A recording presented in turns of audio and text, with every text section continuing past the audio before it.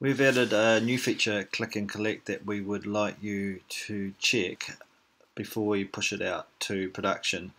So now on the website, on each product, there's a click and collect button if there's stock available. And if there's no stock available, then there'll be a notify us, assuming you've turned that on.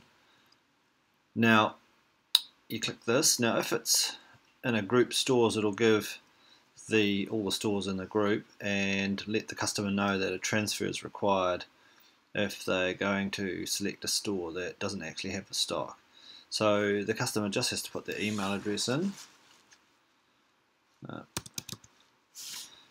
put mine in and then they click hold which puts the item on hold in, in the back office. Now it knows that I'm already a customer here so it's asking me to log on so I'll do that.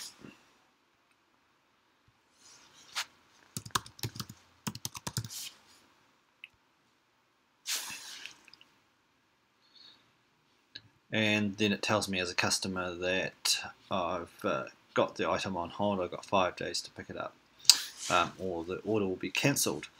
So then the customer can see the other orders here as well, if they've got other things sitting on your website. Now, in the back office, the way this works is you'll get a bell uh, reduce the size of this. You'll get a bell on custom orders just like you do for all other web orders. And now there's actually a bell where this order is, so it's under pending holds. And here's the order that needs to be dealt with.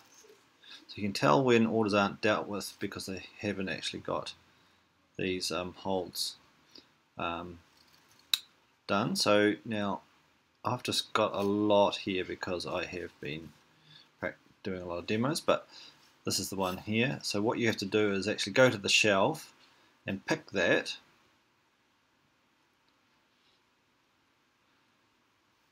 and click go, which puts it in the pick list. So that's moves it from just being a hold to being hold and picked, or um, the new sort of terminology is reserved. And so that tells the system that, that this this has been dealt with as well. So yeah, we want uh, you to try this on your website and uh, let us know if you find any issues or problems with it before we push it to production.